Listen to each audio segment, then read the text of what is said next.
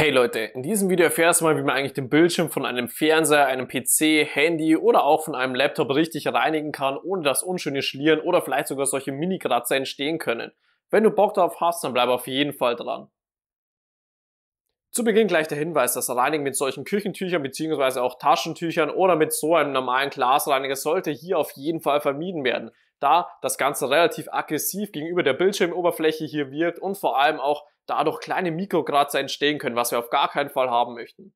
Aus diesem Grund sollte man sich einfach mal ein Mikrofasertuch zur Hand nehmen, welches sauber und vor allem auch trocken ist. Hier ganz wenig destilliertes Wasser drauf geben und damit lässt sich jetzt halt nämlich auch leichte Verschmutzungen wie zum Beispiel Fingerabdrücke ganz einfach entfernen. Wichtig dabei, normales Leitungswasser würde ich vermeiden, da hierdurch dann unschöne Schlieren bei unserem Bildschirm entstehen können, was wir einfach nicht haben wollen.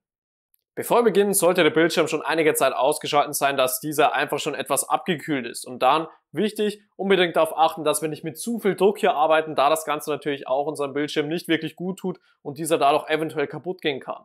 Dann nehmen wir unser Tuch einmal und fahren hier zum Staubwischen ganz normale gerade Spuren. Also zum Staubwischen ist es relativ leicht und sobald wir zum Beispiel irgendeine Stelle haben, wo ein Fingerabdruck drauf ist, dann können wir hier auch leichte Kreisbewegungen machen. Hier ist natürlich auch nicht übertreiben, aber somit lassen sich leichte Verschmutzungen auf jeden Fall schon super entfernen. Falls wir jetzt eine verschmutzte Stelle hier hinten haben, welche nicht so einfach weggeht, dann benötigen wir unbedingt mal einen speziellen Bildschirmreiniger, denn dieser ist ohne Alkohol und somit schadet er unserem Bildschirm auch auf gar keinen Fall. Hier einfach wieder ein Mikrofasertuch zur Hand nehmen, einfach etwas darauf sprühen, dann an unsere verschmutzte Stelle hingehen. Hier empfehle ich wieder, dass man solche Kreisbewegungen macht. Damit lassen sich wirklich alle Verschmutzungen normalerweise relativ gut entfernen. Dann kann man es etwas nochmal wegwischen und danach unbedingt nochmal ein sauberes und vor allem auch anderes trockenes Mikrofasertuch zur Hand nehmen und hiermit kann man jetzt nämlich diese Stelle hier schön trocken wischen und somit kann man wirklich alle Verschmutzungen auf unserem Bildschirm schön reinigen, dass dieser einfach wieder glänzt und keine Schlieren entstehen.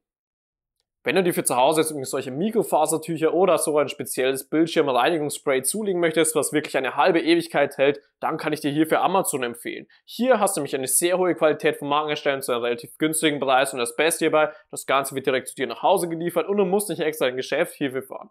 Wenn du dir also eins von diesen Utensilien zulegen möchtest, dann einfach mal hier unten drunter in der Videobeschreibung auf den entsprechenden Link klicken und du kommst direkt zu die Produkte. Wenn dir das Video gefallen und somit auch weitergeholfen hat, würde ich mich natürlich über einen Daumen nach oben freuen. Außerdem kannst du hier oben meinen Kanal kostenlos abonnieren, um kein neues Video mehr zu verpassen. Und hier unten drunter gerne einmal ein Problem bei dir zu Hause in die Kommentare schreiben, wofür du einfach noch keine richtige Lösung gefunden hast.